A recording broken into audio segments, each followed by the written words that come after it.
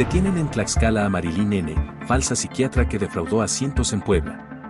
La Fiscalía General del Estado de Puebla, en colaboración con su homóloga de Tlaxcala, logró la aprehensión de Marilyn N., quien durante años se hizo pasar por psiquiatra y psicóloga clínica, defraudando a cientos de pacientes con tratamientos y recetas médicas emitidas con cédulas profesionales falsificadas.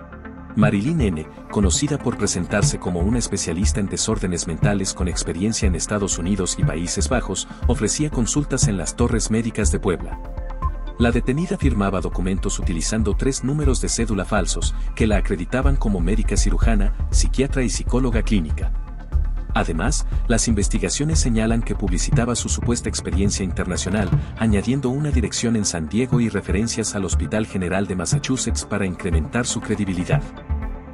La aprehensión ocurrió en Tlaxcala, donde se ejecutó un mandamiento judicial por los delitos de usurpación de profesión y falsificación de documentos. La presidenta Claudia Seinbaum calificó en su momento el caso como una grave violación tanto en el ámbito administrativo como en el penal.